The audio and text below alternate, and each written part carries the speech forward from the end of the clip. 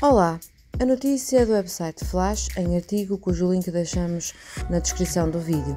Diz a Flash que exigências de programação levaram Daniel Oliveira à retirada da dupla Fátima Lopes e João Paulo Souza e o seu programa do horário.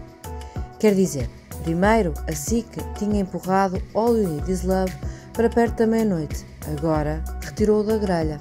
Fátima Lopes e João Paulo de Souza não têm motivos nenhums para sorrir por outro lado, deixamos uma sugestão a Daniel Oliveira. Daniel, por favor, não autorize programas com nomes em inglês ou então, dito de outra forma, autorize quando numa televisão inglesa ou americana tiverem um programa com um nome em português.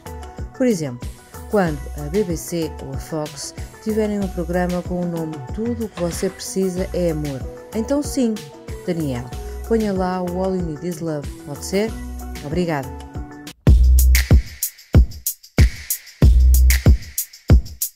E voltando a Daniel Oliveira, por que é que ele despachou Fátima Lopes? Pois, em nome das audiências, está-se mesmo a ver. A SIC ganhou nos últimos quatro anos, todos os meses, e não quer perder fevereiro. Mas o mês está apertado e nos últimos dias foi preciso fazer tudo para contrariar a TVI, que obteve um bom resultado no dia da gala. Por outro lado, Cristina voltou às manhãs, hoje, e nos primeiros dias é de esperar que isso tenha efeito nas audiências. Por isso, Daniel não arrisca. Fez as mudanças que achou que eram necessárias e ganhou. No sábado, a SIC ficou à frente com 15,1 e a TV atrás com 3,5.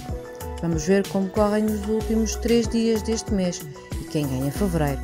Março também promete ser um mês de grande luta entre as duas estações de televisão, com muitas novidades e novas apostas. Vamos estar atentos. Muito obrigada por assistir.